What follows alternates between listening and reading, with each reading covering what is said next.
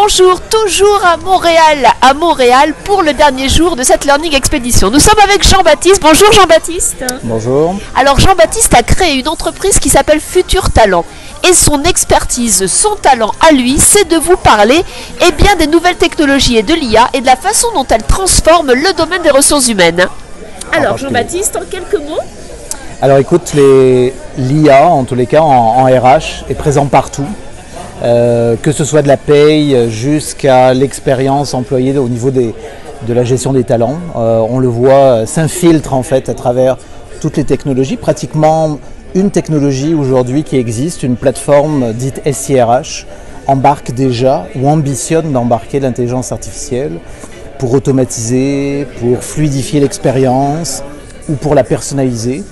Et l'idée en arrière, évidemment, c'est de rendre les, RH à la fois plus efficaces, euh, mais aussi de livrer un service et une expérience différente.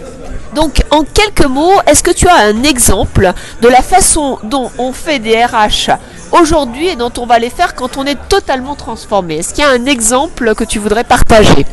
Alors la transformation, elle est avec ou sans IA. Hein. On peut faire aussi la transformation sans l'IA. Mais ce qu'on voit en fait aujourd'hui, c'est euh, notamment euh, toute une transformation au travers de la, façon dont on va livrer de l'expérience aux, candidats. Euh, les points de contact des candidats aujourd'hui sont très en amont de simplement une offre d'emploi.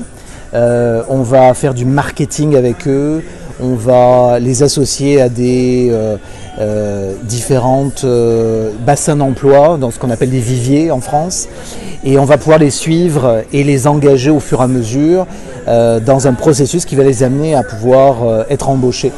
on va les cibler, on va venir faire du marketing autour d'eux. Et ensuite, on va personnaliser l'expérience si on décide de les embaucher à travers des plateformes d'onboarding où l'expérience est vraiment faite sur mesure. On pourrait même voir des organisations où l'ensemble de la façon dont on, gère l'employé dans ses temps, de présence en entreprise, ou la façon dont on va faire euh, euh, tout simplement des suivis de formation, très ciblés, très personnalisés, et on passe de l'administratif à des activités beaucoup plus conversationnelles et des activités aussi RH euh, à forte valeur ajoutée. C'est l'objectif d'introduire plus de technologies et de meilleures technologies euh, en RH. Merci beaucoup Jean-Baptiste. On retiendra à la fois de notre conversation et de ce que tu viens de nous partager. Déjà, donc que la RH passe d'un mode, et c'est ta phrase, hein, d'un mode vraiment transactionnel à un mode conversationnel, où avant on gérait des effectifs, des revenus, on gérait des horaires, on gérait également des compétences et des métiers, et aujourd'hui on essaye de créer une expérience et donc de créer une conversation, quel que soit le registre RH, pour que les talents restent dans l'entreprise. Deuxième idée importante, tu nous l'as expliqué, en fait, bien sûr, le, recrutement avec la présélection et la formation sont aujourd'hui les deux champs qui sont peut-être le plus en avance hein, sur cette transformation numérique et IA, avec des solutions technologique, mais il y a tout le reste, comme la gestion des effectifs, comme la gestion des talents, les tableaux de bord. Et donc, tu le disais toi-même, aucun des points RH n'est épargné. Donc, vraiment, merci pour ce témoignage. Peut-être une dernière question. Dans notre discussion au préalable, tu parlais des métiers de demain. Et il y a une phrase qui était très intéressante que tu nous as livrée, celle que quelque part on allait tous devenir des entraîneurs. Qu'est-ce que tu voulais dire? Bah, en fait, l'IA euh, en particulier a besoin d'avoir de la donnée de qualité, de la donnée métier.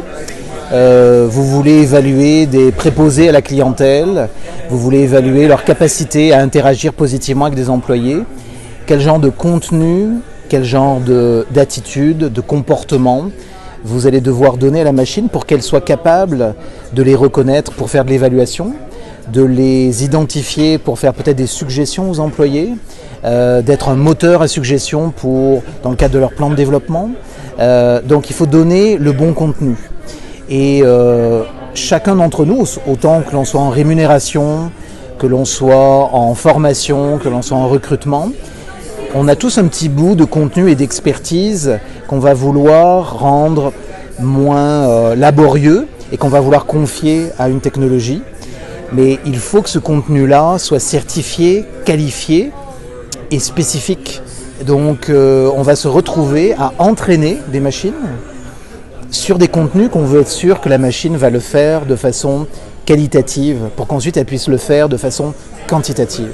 Alors c'est là où on se retrouve à, pour les prochaines années, je vous dirais peut-être pour les dix prochaines années, où on va être tous des entraîneurs et des évaluateurs de qualité d'IA. Merci beaucoup Jean-Baptiste. Donc vous voyez, même si votre métier est disrupté, il faudra le réinventer. Et là, vous avez une piste qui nous est livrée par Jean-Baptiste. Je vous conseille de suivre son blog Futur Talent, car ici à Montréal, Jean-Baptiste est reconnu pour transformer, accompagner les organisations avec le numérique et l'IA dans le domaine des RH. Merci. Merci, à bientôt Cécile.